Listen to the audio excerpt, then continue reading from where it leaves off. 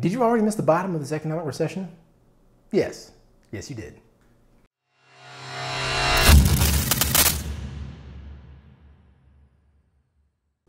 What's up, you guys? You're watching BTP Fusion. I'm your host, Derek West. On BTP Fusion, it's our mission to inspire you to take imperfect action on your business and your finances using the power of technology. Help us in that mission by pounding that like button and dropping us a comment if you like what we have to say, and especially if you don't like what we have to say.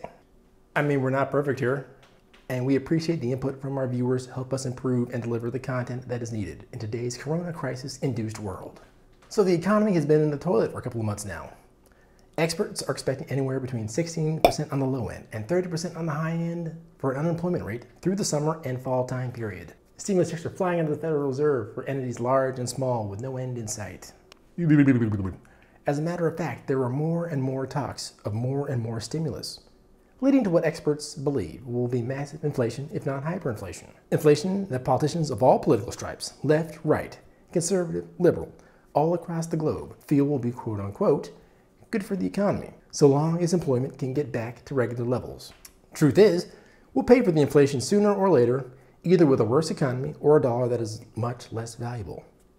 There is no free lunch. But wait, there's more. Companies large and small, even with all the bailout funds, are still not guaranteed to make it out of this mess alive, as this whole hysteria over the disease that shall remain nameless, i.e., the corona crisis, is changing habits of people from all walks of life. It's forcing the adoption of a culture of stay at home and order in rather than go out and have a good time.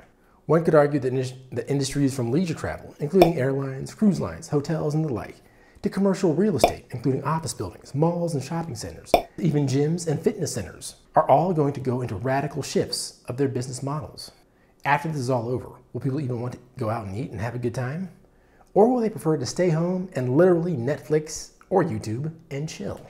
That begs the question, though have we already hit the bottom of this current crisis? And are we on our way back up? Have you missed the quote unquote buying opportunity? Here's a hard truth that not a lot of people are going to tell you. The truth is, if you click the like button, it means that you found this video interesting and informative or both. And if you hit the subscribe button and or notification bell, you'll get even more videos just like these. Oh wait, my notes are out of order. Eh, apologize for that. Seriously though, the truth is, drum roll please.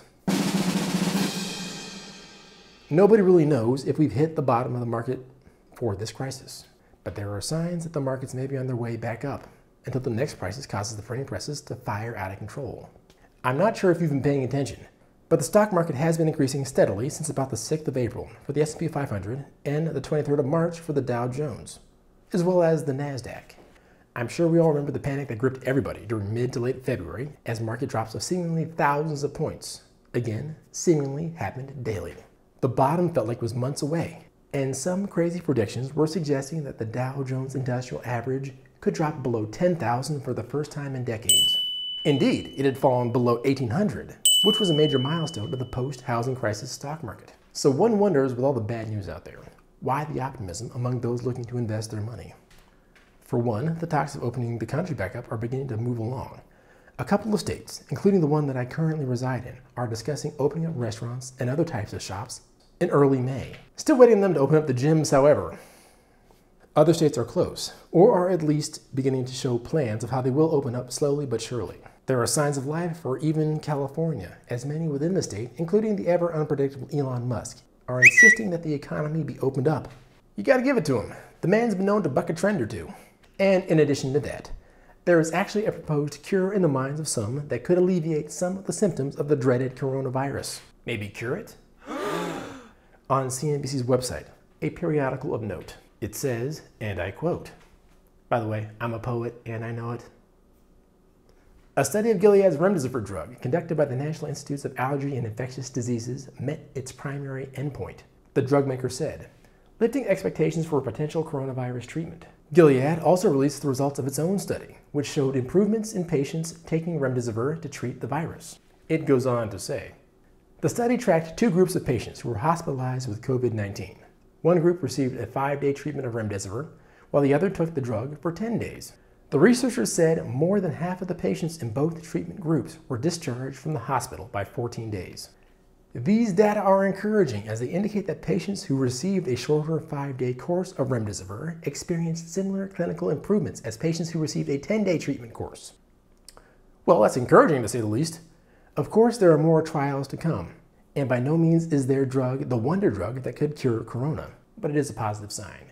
And that's what investors are looking for in this economy positive signs. Shares in Gilead Sciences have been up about $10 since late February. If you've got that stimulus check just sitting around in your bank account collecting moss, it might be something you want to consider.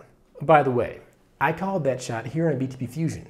Again, if you're not subscribed and hitting that notification bell, you're just flat out missing out on all the juiciest of nuggets.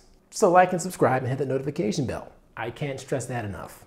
Anyway, the question is, have you already missed the bottom of this particular crisis? And the answer is, to the discerning individual, is that it's impossible to know.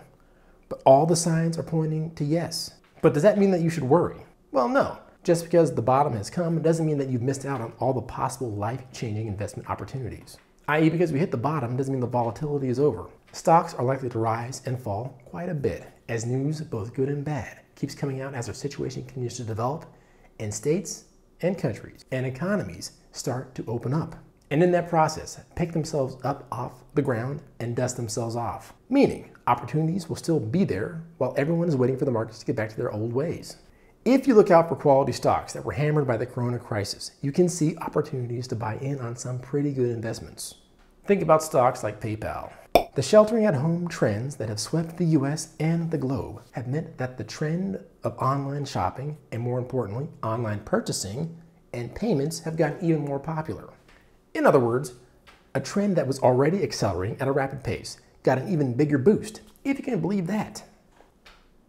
And PayPal is in a position to benefit from that trend, along with other payment platforms like Stripe. Stripe is private right now and may or may not be looking at an IPO. Quick side note, not a huge fan of IPOs, but that is a topic for another video. Other stocks to think about during this trend, other stocks to think about during this trend include Activision slash Blizzard. When you're at home and you're feeling lousy, you can always go downtown. Except when you're under arrest due to a global pandemic. In that event, you can flick on your gaming console or sweet gaming rig and play some awesome video games, which you more than likely suck at. Activision Blizzard is part of the group of companies taking advantage of this trend. If you think about it though, Activision is part of the old guard of the video game industry, producing games that aren't as favorable with today's youth market. Think of titles like Call of Duty Modern Warfare. By the way, I can't believe that I'm so old that Call of Duty Modern Warfare is considered old school. I remember when it wasn't cool because it wasn't Halo. But then again, I'm a first wave millennial. Side notes aside, the company has recently released Call of Duty Warzone which you can consider the answer to the free-to-play and battle royale rivals of its day. You know, titles such as, uh, what's that one called?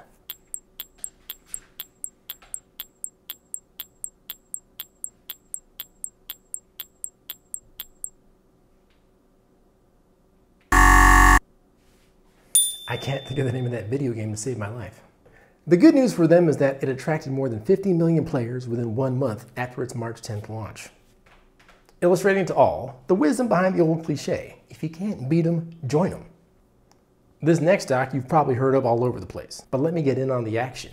Zoom Video Communications. There are a ton of reasons to like Zoom, not the least of which it allows you to be in communication with your team, if you have one, or just with friends and family.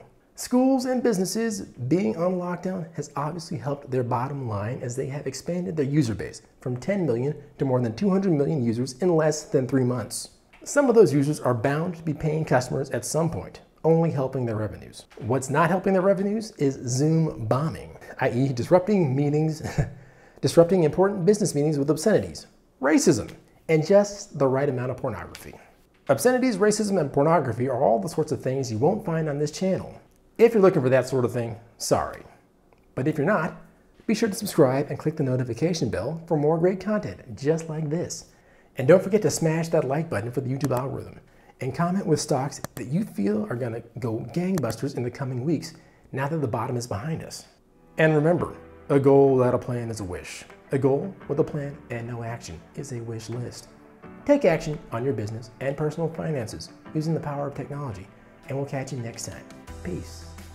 Fortnite. I can't believe I couldn't remember Fortnite. Take it easy.